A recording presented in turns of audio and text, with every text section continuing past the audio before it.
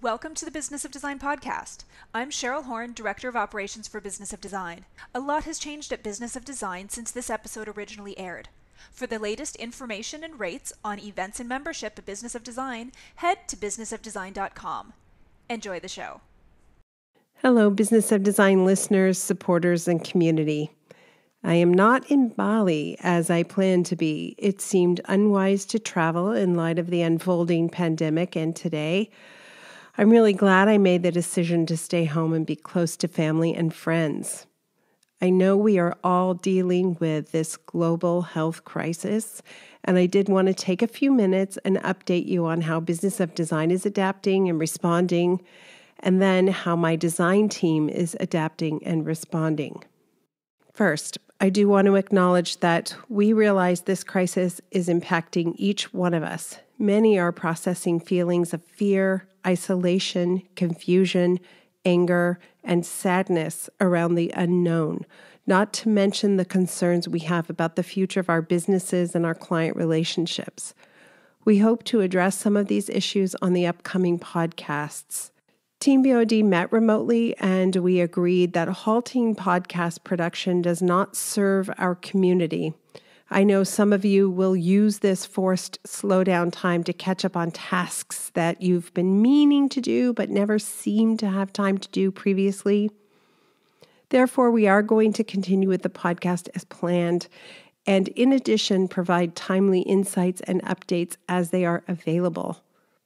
While voluntary social distancing may be necessary to protect our health, it is increasingly important that we come together in spirit as a community. While we may not be able to meet up in person right now, we are continuing to build our Business of Design community online. So let's show compassion for others and continue to engage online with sensitivity and care. We need each other now more than ever. While Team BOD is capable of working remotely with relative ease, I do want to acknowledge this may be more challenging for you in your design business, especially if you are at a critical juncture in a project right this moment. Our design team is suspending on site project visits for the time being. Thankfully, we are all healthy and therefore we continue to work on projects from home. Although, as you know, if you do have small children at home, there are going to be additional challenges to that time. I think we are all optimistic this crisis will resolve itself through the selfless work of so many professionals, including those in the medical fields, but as well those people who provide essential services such as janitors and cashiers. Next week, I hope to share some workarounds we're implementing and talk about some of our client strategies. But for now, I just want you to know that you're not alone and normalcy will return. The episode you are about to hear was taped pre coronavirus. So please forgive any references that seem glib or thoughtless in the current climate. They are unintended. And please stay healthy, everyone. Welcome to the Business of Design podcast with Kimberley Seldon. Business of Design is the coaching community for independent designers like you. We know it takes more than hard work and talent to successfully run a professional design firm. There are proven business strategies that can solve your immediate challenges and transform your life. Don't try to do this alone. Join today and you'll have access to more than 100 video courses, participate in monthly coaching calls, and find unlimited support within our exclusive members only Facebook group. Unlike traditional coaching, BOD is a fast track to immediate results for independent interior designers, decorators, architects, stagers, and landscapers just like you. Monthly membership is only $79. Annual members save two months. What are you waiting for? We all know design matters. At Business of Design, we think designers matter too. Before we jump into the interview, let me tell you about Andrew Mitchell, who is otherwise known as the Design Coach. He is based in Melbourne, Australia. He has run his interior design business for almost 20 years, and he says he's confident he's made almost every mistake under the sun and wants to share what he's learned with a community of peers close to him at home. So he started the Design Coach just two years ago. Having struggled with isolation and what he terms a heavy case of imposter syndrome in the early years of his business, Andrew is driven to ensure that other designers take necessary steps to learn the foundations of healthy self care so they experience success in all areas of their life, not just work.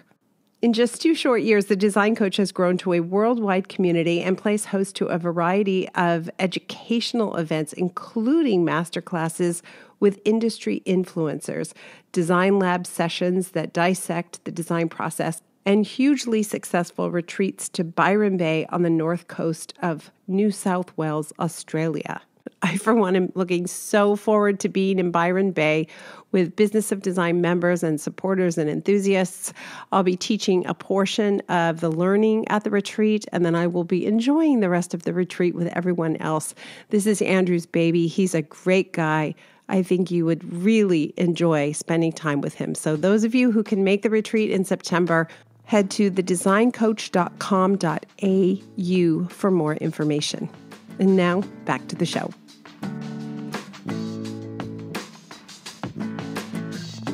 So, thank you so much for uh, coming on today to be able to talk to me.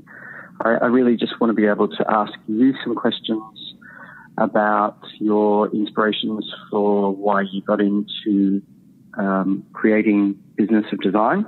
Um, I know that the designers that are coming along to see you in are really excited, not only just to hear your teachings, but also to learn a little bit more about you as the powerhouse that runs business of design, but also you're very successful interior design business. So you're an incredible role model for people. And, and I think that what I wanted to do today is just ask a few questions, if that's all right, just to find out a little bit more about what makes you tick.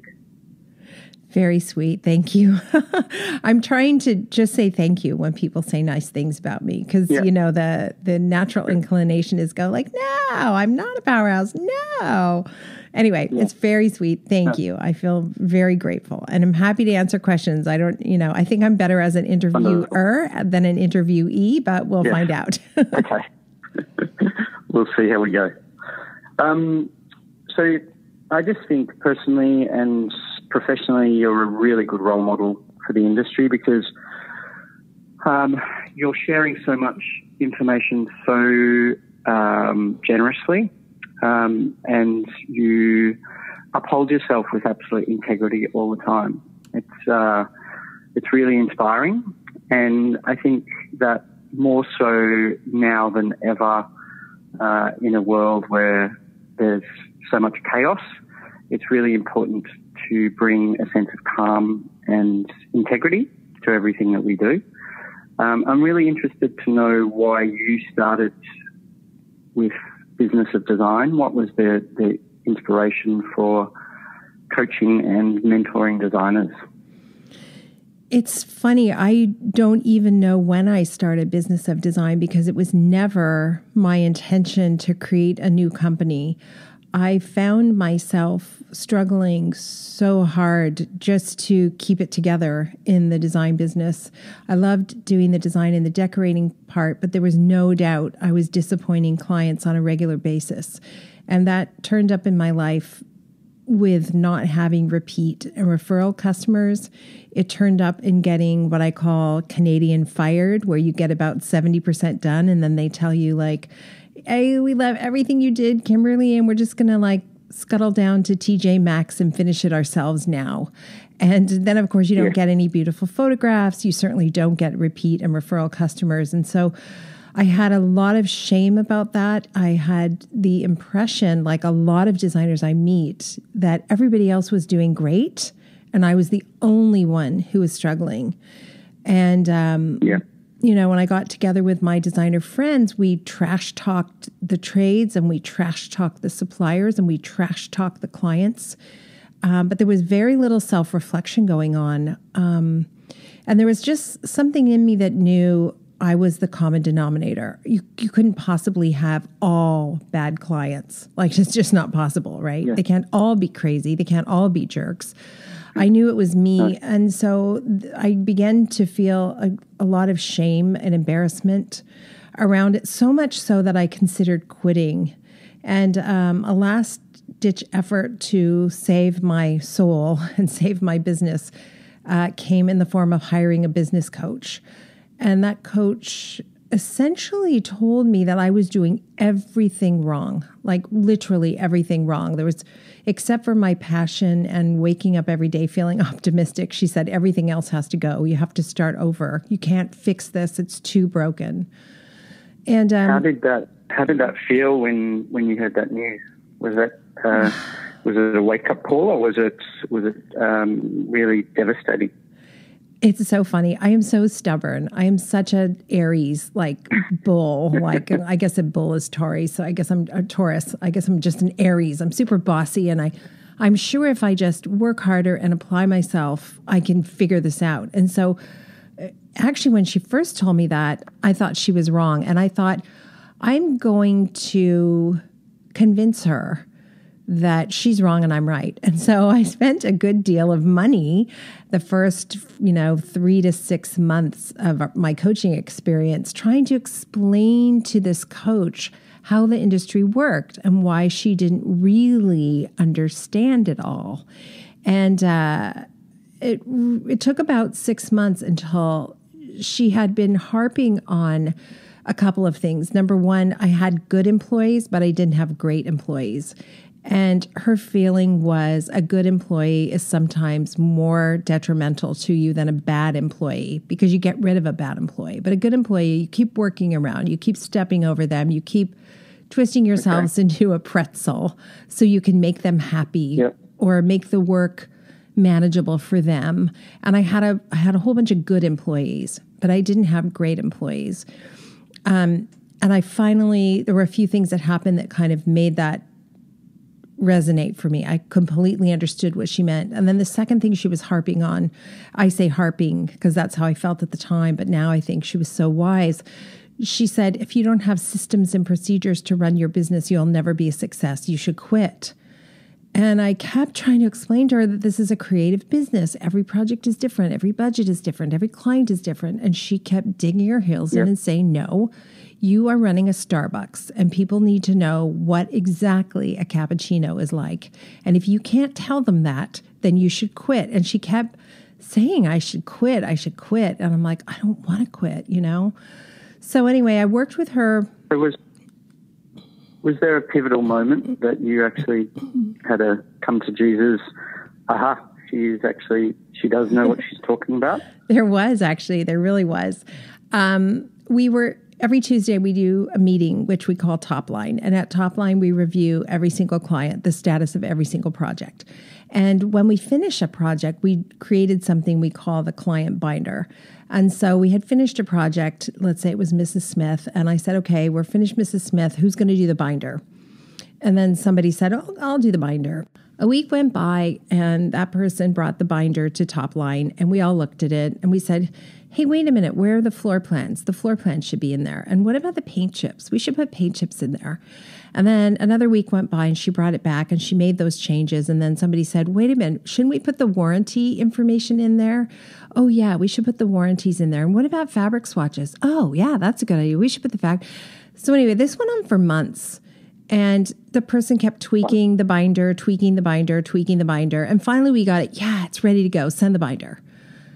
Sure enough, another week goes by and it's time to wrap up another project. This time, let's call her Mrs. Jones. So, Mrs. Jones, uh, the project is done. Who's going to do the client binder? Somebody says, I'll do the client binder. So, they go away for a week. They come back with the client binder it looks nice, but it looks different than the last client binder. So we're trying to figure it out. Like, huh, the last one, the drawings, remember she had a tab? It looks really good with the tab. Oh, yeah, I should do a tab. Yeah. And then there should be a cover sheet. There's no cover sheet. And then don't forget the warranties. Okay. So this went on for a month or two, and we finally got the binder ready to go, and off it went. And then sure enough, we finished another job. Mr. Anderson's job is finished. Who's going to do the binder? And somebody puts their hand up and then says, Now, what's in the binder? And we all start talking about what's in the binder. And I look around the table and there's like nine of us. And I'm like, None of this time is billable. We have now spent a year of our lives talking about binders. I'm sure if we added up all the time we spent on the binder, I, it would be a year of my life I would not get back. And it was it was like a major epiphany. I'm like, oh my God. I, I actually felt physically sick. I'm going to throw up, is what I said. I think I'm going to throw up. What's going on? I said, she's right. We need systems. We need a procedure. We need to know how the binder looks every single time. Like the binder shouldn't be different every time. It should be exactly the same every time. It yep. shouldn't be this hard, you know? And then, so then we spent another month or so creating what we thought at that time was a perfect binder. And what happened next is I never had to talk about the binder again.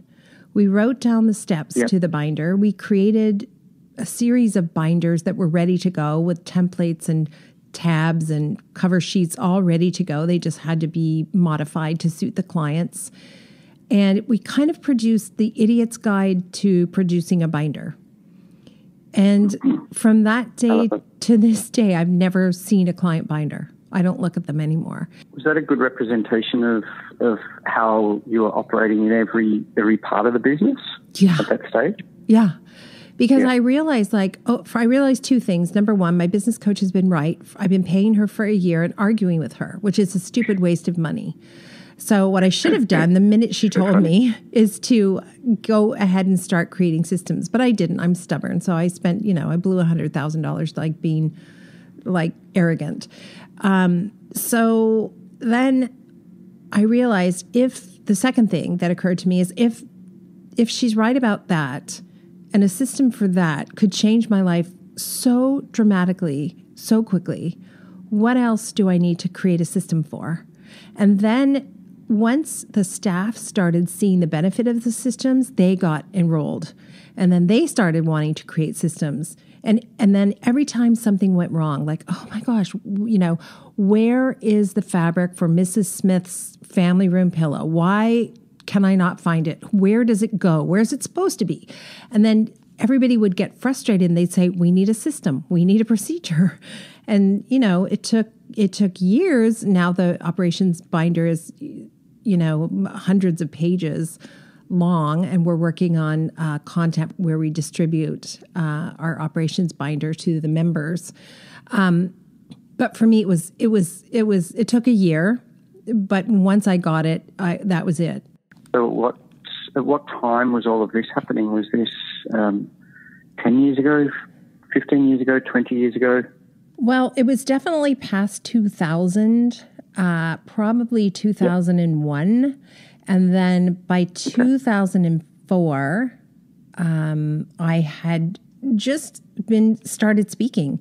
So what happened was I was sharing with somebody who we purchase uh, residential carpets from. I was sharing with him what I was learning with my business coach, and he was just fascinated. And he's like, you know, we do these designer events um, twice a year where we like have wine and food and would you like to come and talk about what you're learning with your business coach? And of course, I was like, no, no. Absolutely not. I don't want people to know what a loser I am. And uh, he said, you know, I, I really think it would benefit other people. And um, I, w- I would really appreciate it. it. would be a big favor if you would do it for me. So I said, oh, you know, all right, okay. So anyway, he has this event, and I'll never forget it. There were like a hundred designers in the room. And wow.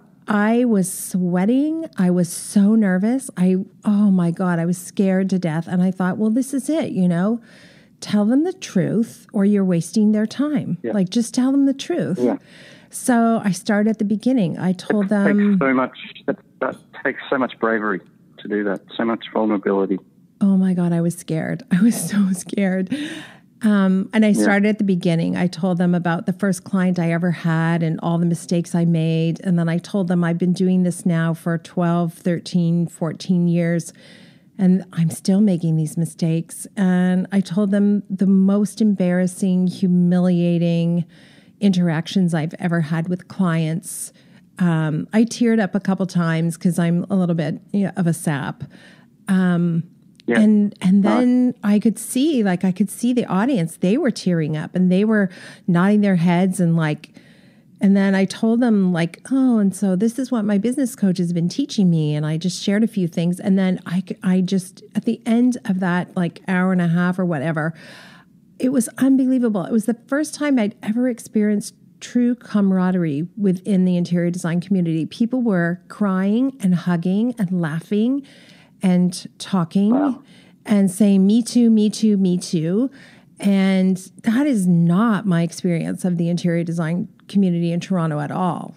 Quite the opposite. Like you go to parties and you say, How are you? And everybody's like, Oh my gosh, amazing. Best year ever. Best clients ever. I've got it going on, you know? Yeah. Um, yeah.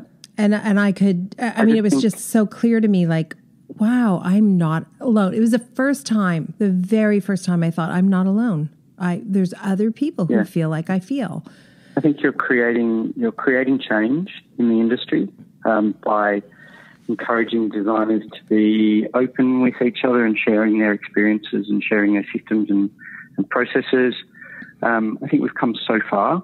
I've been in the industry 25 years, and I think that there is a lot more happening, but I still think there's not enough. And, and you're at the forefront creating this change. What do you see we still need to do to make that even more powerful. I'd like to see more associations grasp the business aspects of being an interior design professional. And I would like to see them really put the wind at our backs instead of putting obstacles at our feet. Um, yeah. And I would like to see young people being educated at school in a better way, in a much more effective way. Yes. The truth is, I don't think the education has improved one bit since I graduated in 1991. I'm appalled when I'm asked to speak in a business class at what the curriculum looks like. And, you know, we, we just, I don't know. Why? I don't know. I think schooling continues way beyond formal education, and that's what you're doing. You're you're educating designers not just in business um, skills, but also in life skills as well. And that's what I'm hoping to be doing with designers as well. So I think the more the more um, companies that we have like ours, the, the stronger the community will be. But I, I totally agree with you is that schools have a responsibility to be teaching business skills to to designers who, you know, there's a good high proportion of students that go through design school that eventually want to have their own business, and, and no one's teaching these really fundamental skills. No, yeah. Yeah, so my one of my lofty goals now is to um, produce some education for schools that could be rolled out to a much, you know, ah, not necessarily wonderful. younger, but new, like to those who are just entering the profession. And I and again, I would really like the associations to get on board and start talking to designers as if we are a profitable billion dollar industry and not dunderheaded idiots who can't do the work ourselves. So, um, yeah, those are my dreams. it's it's a it's a brilliant dream. And that's a big thing. That's a big push is, is bringing business education into interior design school. So, mm-hmm. yeah, hopefully it's, it's, it's happening. Hopefully there's change ahead. I love that there are like minded people in this with me as yeah. well, like you. You know, we've discussed the fact that yeah. you have impeccable integrity and obviously you're running an interior design firm. So that that makes us unique, right? We actually are working with clients where none of my teachers worked with clients or they did for about an hour and they hated it and so then they taught. Yeah. And you know, ultimately if you're going to be a surgeon, you better be learning from somebody who's done some surgery, and still practicing surgery. Yeah, exactly. I think that, you know, one of the things that I'm totally open about is that I've made lots of mistakes and I continue to make mistakes, but I think the most important thing about that is learning from your mistakes. So I think being in the industry practicing, you're still continuing to make mistakes and, and learn from those mistakes. Hopefully they're not too big mistakes, but nevertheless, they're, they're important learning tools. Mm-hmm. What do you think? Can you, would you share with, with me one of the biggest mistakes that you've made in, in business and, and what did you learn from that? Do you want this week or can I go? I mean, I, honestly, well, I feel like no matter how many mistakes I've made, honestly, you guys, I figure out a way to make another one. So I'll tell you one that's recent, which is really puzzling. So we did a huge renovation for clients, and we we uh, encouraged them to hire a different company to help them do some editing. Uh, and get rid of some of the things that they had because we didn't want to put a whole bunch of things in storage and then have to um, pay for storage for a year and a half and then try to get rid of those things. It's better to get rid of them before you do it. So, anyway, we had this professional company come in and inventory everything, box everything, label everything, tag everything, get everything looking uh, get, get everything really organized. So when the movers came to put things in storage, we would know what was in there we would know uh, what we had to work with when it came back out. And everything went well, except for we were missing boxes 101 to 105. Um, 101 to 105 just happened to be a series of antique and first edition books. So we had oh. pictures of the spines, uh, we had pictures of the books, uh, we had inventory, so we knew the names of the books. Um, and for whatever reason, those boxes were not with the movers when they returned to drop everything off. Now, we had 200 boxes. So the movers moved everything in the house. We didn't go through and count box number one, box number two, box number three. So we didn't know that boxes 101 to 104 were missing, but we signed the documentation saying we received the 200 boxes. Um, and then afterwards, you can imagine what happened. The movers say they don't have the boxes. We say we don't have the boxes. And the client says, Where are my expensive books? There's a note at the bottom of the documentation from the mover saying that the client decided to move the antique books off site. The client doesn't oh, wow. remember that.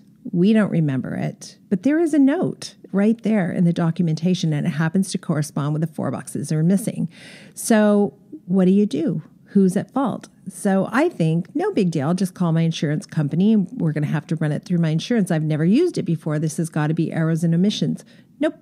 Nope, not at all. The insurance company says I'm not covered for that particular thing, and my only recourse is to sue the moving company.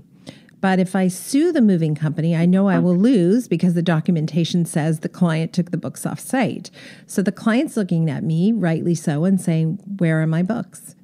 And I don't have an answer. So I'm actually meeting her tomorrow to tell her a few ideas in terms of options. Um, all of them involved wow. involve me writing a check, and this is why I say to everybody, this is so not a hobby. Um, in in the 25 years or whatever I've been in business, this has never happened. It's highly unusual. It probably won't happen to you, but if the worst case scenario is I have to write her yeah. a big check, I can afford to do that. I it won't mean I have to sell my car or have a fight with my husband. It will mean that I don't make as much money this year, but I will survive. And you just never know when that thing is coming, right? So that, what's the what's the lesson in that? I'm struggling to to sort of look at what you would have done wrong. I mean, you seem to have done everything. You had the documentation. There's been effective communication. Yeah. Um, is is the the lesson that you just don't deal with a company that you're not familiar with? no, we've used we've used both of these companies many times. I think the one lesson I can take away is that we would in fact have to count the boxes next time, and we would have identified for the, before the movers left that we did not receive 101 to 104.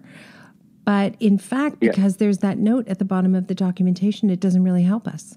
So the lesson I think is you yeah. guys, you better have insurance and you can get hurt. And of course, I'm going to follow up with my insurance company and say, why do I pay you? I'm not sure because if this isn't covered, yeah. what what is covered? I'm a little shocked by this um, announcement that this is yeah. not covered. So sometimes, you know, guys, when you're in business, you just get, you know, you just get hurt, right? You just get hurt, and you you need to be able to roll with it. That's can, the price of doing business. Thank you so much for sharing that because I can I can hear that it's still hurting and yeah. it's still not solved. So you you've still got that final stretch of communication with the client mm-hmm. that it might come down to a financial um, reimbursement, but but the client's still not going to be happy, and that that needs to be dealt with as well. Yeah. You know, you've. I mean, I think the thing, the biggest thing that hurts is disappointing a client. Um, Yes. but you know, I think also in those circumstances, it's an opportunity to prove to a client how mature and professional you are by the way that you handle it. So I think I have no doubt that you'll come up trumps. I hope so. She's these clients happen to be really nice and quite um, quite grounded. So I know that they appreciate the mess this is, and Yeah. they did put some things off site. So there were some items that went off site. So there, there's definitely some ambiguity there. And you know, sometimes when we're solving problems, y- you could, all you can do is offer a solution that makes people sort of happy. You know, because what would really make them happy is to get their books back. Of course, of course. And look, they may turn up somewhere. Hopefully, fingers crossed. One hopes, yeah. So you mentioned before about uh, employing uh, a business coach in, in the early stages of sort of transforming your business. And I believe 100% that mentors and coaches are so important because asking for help um, is number one is, is a big thing because we can't do it all ourselves. Um, but number two, also coaches and, and mentors can be really good for holding you to account. So helping you to follow through with all of the goals that you're setting. Who do you who do you turn to for? I know you've got a really supportive, amazing team. So Cheryl is, you know, the backbone of business of design. She's just incredible, and I'm sure you've got an incredible team of designers. But what about from a big picture perspective with what's happening with Kimberley Seldon Design and Business of Design? What who do you go to for support and mentoring? I have continued to work with various business coaches, some more successful than others. And, um, you know, now I'm at a stage too where I'm not afraid to ask people who are business owners outside of the industry what they think. And that has been extremely helpful to just reach out to, for example, some of the some of my friends who work in banking or the financial world and just you know kind of lay out a problem and, and see what they say. And i'm sort of amazed at how direct they often are about all of it. Like here's the situation um, nobody's going to win if we do this and this so this is what i propose. And in- incredibly i find um, often I I make things a much bigger deal than they are. You know, in my head, it seems like I can't tell the client that. But when I run it by somebody else who's not an interior design professional, they're like, yes, you can, and you will. You just do it right now, get it over with. I'm like, oh, all right. And then it goes fine. Yeah. Great. Um, I think that I look at from the outside perspective, you fit an awful lot into your life. You've got your business of design work that seems to be growing and growing and becoming an international phenomenon. You've got your interior design business, which is ridiculously successful, and you're doing some beautiful work. Um, but you're also doing TV, you're doing broadcasts, podcasts, creating content for the, the um, Business of Design website, you're doing speaking events, coming to Australia. I'm exhausted just thinking about all of that. So, how do you, you you're so up, um, you, how do you maintain that all important balance in your life and make sure that you're not burning yourself out? Gosh, um, you know, it's not always balanced. That's the truth. Sometimes I go a little bit too heavy into work, and I can do that because my children are grown. So I'm not, you know, I'm not depriving them of their mother or anything like that. Um, but I think the more systems you have in place, the more you don't have to supervise. And so I find myself surrounded by a team that for example, if I would ask Cheryl or Isoon or Victoria, or any of them, any of them, if I would say, Can you do the following thing? When they say yes, I never think about it again. I do not have to go back and check if they did it. And that's one thing I've learned that's the difference between a good employee and a great employee. A good employee, you go like, "Hey, did you get that thing done that I asked you to do?" Uh, and a great employee, you never think about it again. It's as good as done the minute you ask them to do it. So um, that that helps a lot for sure. That's largely aside from making sure that you're employing wonderful people. It's largely down to the systems and processes that you've put in place. Well, it is because they, I found I had really good people come and work for me, but without those systems written down, they didn't know how to make me happy. And so they would do a job. In fact, I just got off the phone today. I was coaching uh, a business of design member, and um, she was saying that all the time, you know, on the weekends she'll go in and she'll fix things that people did during the week, and she'll tweak them so that they they're good for her. And then when people quit, they say to her like, "I just I never know how to make you happy," or "I didn't bother yeah. doing a good job on that thing because I knew you would change it anyway." And that was exactly the kind of feedback I used to get from staff. Um, they did not appreciate that I would go behind the scenes and, and tweak things, but I just did not have time to train them for what I wanted them to do. And yet, when you take when you you know really face it and you write the system down then they could they can follow the system they can produce the result that you want and then they can succeed right? Because people quit if they can't succeed. If they can't feel like they're winning sometimes or most days they're going to quit and also, I think it's really important that the learning tool as a manager is that you need to allow people to make mistakes as mm, well, yeah. because we all make mistakes.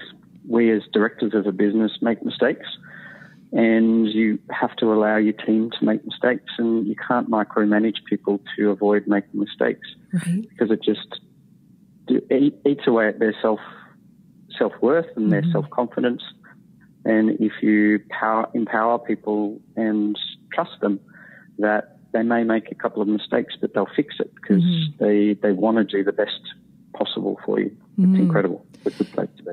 The next part of that too, I think, is let let them fix the mistakes because people would make mistakes and then I would fix it because I didn't have time to explain to them, and that just delayed yep. them learning by, you know, years and years. So don't fix it. Tell them to fix it. Tell them why it's a mistake and then tell them to fix it. And then you'll learn a lot about their character. Are they complainers? Are they whiners? Are they going to make are they going to punish you because you've asked them to go back and correct something? In which case you can't have yep. them on your team. They just can't. And the other thing that was really helpful to me, there's a guy named I I think it's Bruce Bruce Coxon. Yeah, he's on Shark Tank. Um, and he spoke at an event for us, and he said, if people can do something 80% as well as you can, let them do it. So I thought, oh, there yeah. you go. Like, good, good to know. yeah. And my, my philosophy is also that there'll be things, uh, areas that they will perform 80% at, but then there'll be areas that they might perform 120% better than than what you can provide. So true. You know, because they're younger, more enthusiastic, or just better trained, or just have a different skill set altogether. And it's that's what makes having a team so exciting. Yeah, exactly. It's Bruce Croxon, by the way. I have to get his name right. Okay, perfect. Um, so I think that you, the services that you're offering with Business of Design, is exactly the right time, exactly the right place you're doing exactly what is needed for the industry at the moment. So, what's coming up in the next 12 to 24 months with Business of Design and also for you with Kimberley Seldon Design? Ooh, we are on the cusp of unleashing some new and exciting things at Business of Design because we know more now. We know more because you guys have been so generous with us sharing what you need, sharing what you've learned, sharing what you hope for, that we've been able to modify our systems and procedures and strategies and techniques and learning to be a simplified version, a better version, a stronger version. So, in the next six to 12 months, there will be some exciting changes for Business of Design, all good, nothing that will impact people who are already members. Um, we decided in 2010 that if somebody was willing to trust us, we wanted to be able to honor whatever price they signed up at. So if you're already a member, we'd like to honor that price indefinitely if we can. It's challenging because as we rebuild the website, and we've done that four times, by the way, people probably don't even know it's happened because we've been very careful to hire the right teams of people and make sure there were little to no disruption. Uh, so we've rebuilt the website four times. We will go through a fifth rebuild. Technology is better, it's faster. But more importantly, we've been able to incorporate what I've learned on the journey over the last 15 years, which is a lot. And I'm so grateful to this community because you guys have been a sounding board. I've been able to share my process and what I'm thinking and what's happening. And you have been there every step of the way. So I can't thank you enough. We will um, share the details of the changes, but suffice to say, we will offer programs that are a little bit more follow the bouncing ball uh, for those people who really don't know where to start or how to start or how to implement we are updating the three books that I have volume one, volume two, volume three. And if you already own those books, you probably won't need to buy the updated version. I'll leave it up to you. Some of the language is changing because times have changed. Um, so, you know, instead of just saying we get a check from our clients, sometimes we get an e transfer or a money transfer. Um, so some of it's, you know, pedantic like that. You don't have to worry about it. And then those things that are policy procedure changers, I talk about that during membership all the time. So we do try to make sure members stay up to date with the changes as I'm going along. So that's exciting. We're really thrilled about that. We now know what our events are. The Business of Design Elite Retreat is extremely popular. We'll continue to do that. It is, you know, an anchor to the year for for many members who just look forward to that moment. And we are relaunching Business of Design Bootcamp, which is 15 steps in 15 hours. So for those who listen to the podcast and you'd like to know what Business of Design's 15 step project management strategy is about, this is a 2-day event that can just change your world uh, overnight or at least over two nights. and as I said, we are working on textbooks and an operations manual, which will go live this year. So many things to look forward to. I couldn't be more proud of the work that we do here and um, couldn't be happier that I've been able to associate with wonderful people like you who are also doing incredibly valuable work. Um, and then Kimberley Seldon Design Group, we're kind of having a really good phase right now where I'm able to pick and choose the customers or the, the projects, I guess, that are exciting to me, that are really meaty and uh, are bigger, a little bit bigger and more long term projects that I enjoy more.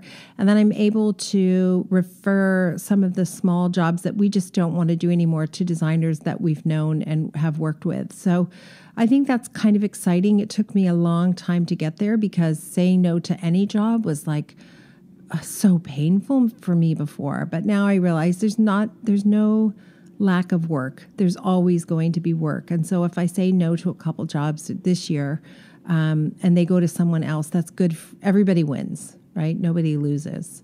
So I'm excited Wonderful. about just continuing to fine tune who our ideal client is. Yeah. So how how big is your team now at Kimberley Seldon Design?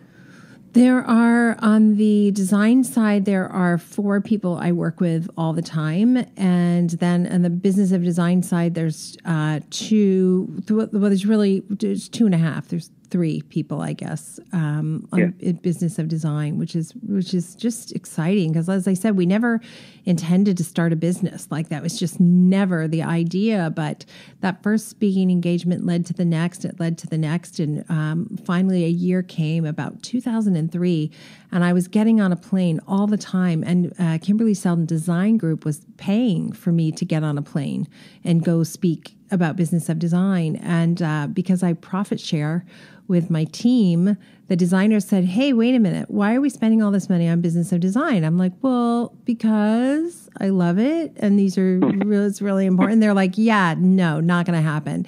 So, um, wow. yeah. So then uh, Cheryl piped up, uh, God love her, and said, you know, we need to take this online anyway. You're out of the office too much. Let, us take it online. And uh, from there, it's just kind of grown and blossomed. It's so fun how many people are just discovering us and say, oh my gosh, I can't believe you're, you're new. And we're like, we're not new. we started in 2004. Yeah. So uh, it's, oh, thank God really you fun. started in 2004. Believe me, I can I just tell you, like when I talk to designers, it's for me. I feel like it's my therapy. I like I'm laying on a couch somewhere, and uh, Yeah. I just I would not be able to stick to the policies and procedures we have if I wasn't talking about it all the time. I just would not. I would go Yeah. back to my old ways. Yeah, it's a, it's a form of accountability, isn't it? Absolutely. It's when you when you're sharing with people your truth, then you're much more likely to follow through with it. yeah, very true. Yeah. Now we're so excited that you're coming out, meeting your loyal fans, and hopefully patting a kangaroo and a, a koala. Um, what other plans have you got while you're in Australia? Ooh, I haven't really planned my Australian adventure this year, except to say that I'm really excited to be in Byron Bay with you. Like, that is definitely the highlight. I'm excited to hang out in Sydney with some Business of Design members. Um, that's going to be a beautiful thing. I think we're going to go and see the Great Barrier Reef. Um, because one must, right? And uh, Uluru, the big, beautiful spiritual rock, I think that sounds fascinating. And other than that, maybe go back to Mornington Peninsula or uh, Barossa Valley for, you know, wine. so there's not enough Yeah, time. more wine country. Yeah, okay. Oh, wine. Oh, what a coincidence. More wine. Yeah. And um, I'm really, really appreciative that you took the time to, to have this interview. Thank you so much. Well, thank you so much for everything you do. Um, Design Coach does really much needed, important work, and uh, I'm grateful that you're in my life. So thank you so much, Andrew. Thank you. Thank you, Kimberley. Thank you for being a part of the Business of Design community. If you love what you hear on the podcast, take the next step by signing up at businessofdesign.com. As our thank you, you'll gain access to Business of Design's 15 step project management strategy, a free introductory course which includes three Business of Design systems you can implement for immediate results. And when you're ready for success, a Business of Design membership, monthly or annual, will dramatically improve your business and your life. What are you waiting for? Together, we will achieve extraordinary results. Start today.